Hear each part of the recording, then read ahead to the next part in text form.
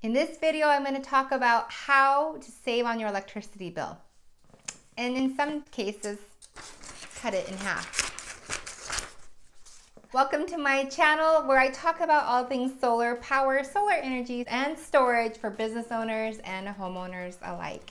My name's Jaime Greene, the Solar Queen, and I want to say thank you for watching today's video. It's kind of an important one because so many Americans are facing money issues because of the cost of inflation. So one of the ways that you can hedge yourself or protect yourself from rising costs of living, one of them being your electricity bill, is by going solar. I love helping businesses and homeowners learn about solar power and save on their energy costs. And literally, solar power does it. Solar saves saves so much money for homeowners and business owners, and I'm going to talk about the three ways that the utility companies charge you for your electricity. And most people, most businesses have no clue how they're being charged for their energy, and it's three ways plus one. The one, the plus one is gas. I can't do anything about gas unless you decide to switch gas appliances over to electric, which I've actually had a lot of homeowners do. They go and they change out all their, because they have to change over their appliances anyways, or maybe they need to be replaced. And so they're changing it over to electricity. And if they do that, then they really truly will be able to take advantage, the full advantage of solar power and solar energy for their homes. So can't do anything about gas unless you switch the appliances over to electric, but I can do something about your electricity bill. And if you're a business owner uh, or if you live in states where they implement demand charges because they kind of recognize you as a high energy user, there are ways to eliminate those demand charges as well. So the three ways, and let me know in the comments below if you knew how the utility companies charge you for your electricity. But the three ways that they're charging you is for generation, transmission, and distribution. So Generation is when you need electricity, they're gonna um, fire up the power plants and they're gonna generate energy for you, electricity through different ways that they do it that's using fossil fuels. And they're going to then distribute it to your house or to your business through the transmission lines. So transmission, distribution, and generation charges go away when you get solar power. The only thing that you're gonna pay to the utility company, it's a minimum delivery charge. So if you're a business owner or a homeowner in California and you have solar, you will see on your energy statement something called a minimum delivery charge, or we call it connection fee, just to make it simple and easy to understand.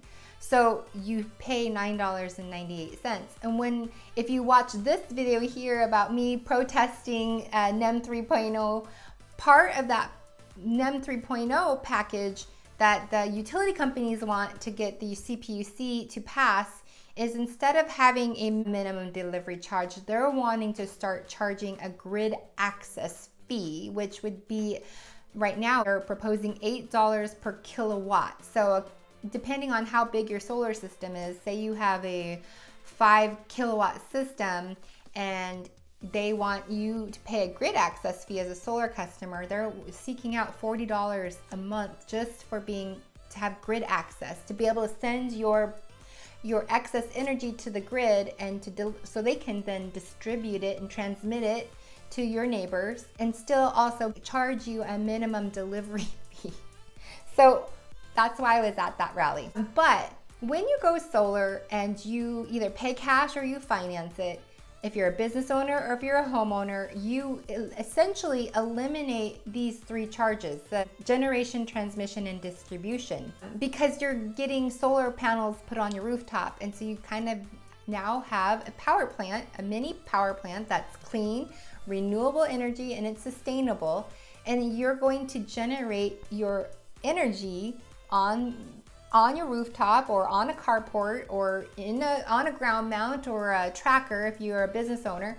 And that energy that's generated by the sun, it doesn't have very far to go because you're gonna have what is conduit. That's you're gonna be your transmission, and then your so your main panel is gonna distribute the energy throughout your business or your home.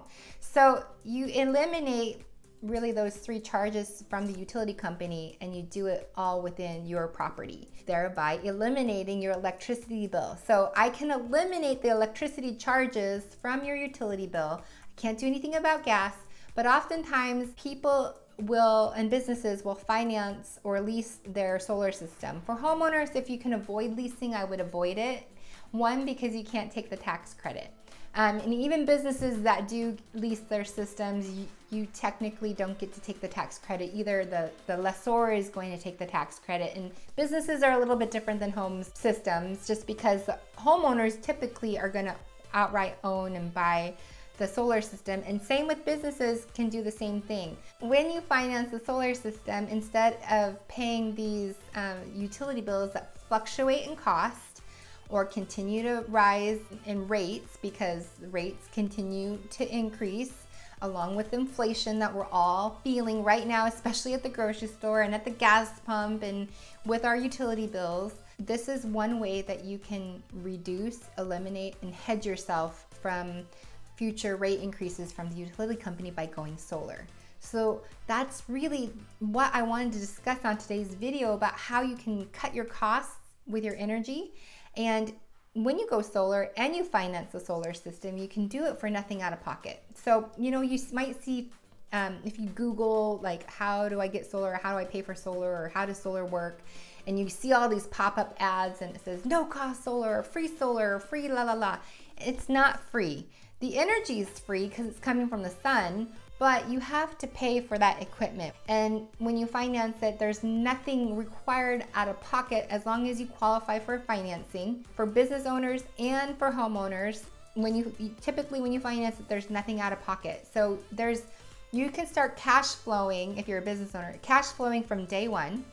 If you're a homeowner, you are going to make your solar payments and then hopefully there's a gap between what you used to pay the utility company and what you're paying currently, you know, for uh, your solar system. So that gap right there is your savings. And hopefully it's at least 20%, hopefully 30, 40, 50, 60% for people who go solar. That's the kind of stuff I'm seeing when I'm helping homeowners go solar. And for businesses, it's phenomenal. So if you're interested in solar, I want you to reach out to me for your home or for your business. And I wanted to show you quickly breaking down our solar system in the month of December. So this is our running NEM um, charges year to date, and this is for a December bill. I just printed off. We owe $200 to the, for gas and $10 connection fee or the mandated delivery fee.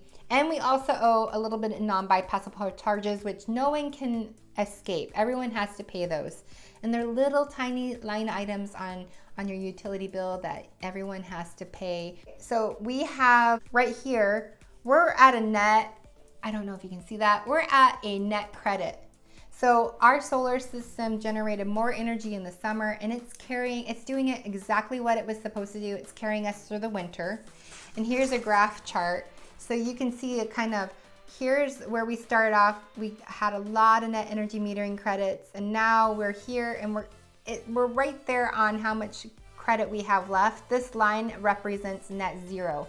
The goal with solar is to net zero or to come out a little bit ahead. We'll probably come out with owing the utility company a little bit of money. But this is um, in the month of December, we used 184 kilowatt hours and our solar system, gener and I'm looking down at my phone because I'm going to open up my solar, uh, my solar production app. In the month of December, we generated 118 kilowatt hours. So we still offset a third of our energy costs with solar, and the rest we got from uh, the grid, but we have been building up credits. So we still, even with pulling from the grid, we're still coming out with a net credit as of today.